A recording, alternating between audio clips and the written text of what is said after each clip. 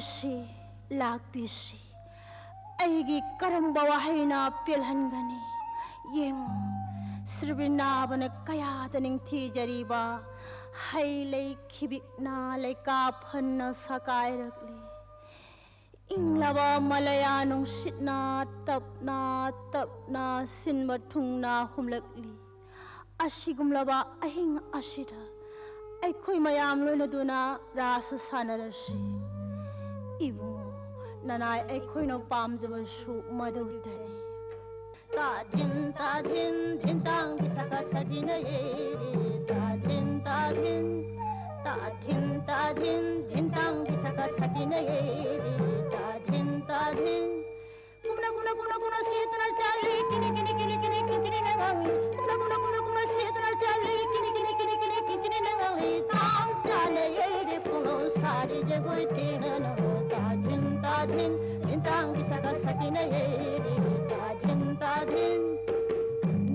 सारे इसे सली गोपी सिंगल नना जगोई सारे इसे सली गोपी सिंगल नना सूरत रे ग्राम हम राग तरु रागिनी कुंछा तरु को जगोई सारे इसे सली गोपी सिंगल नना कुना कुना कुना कुना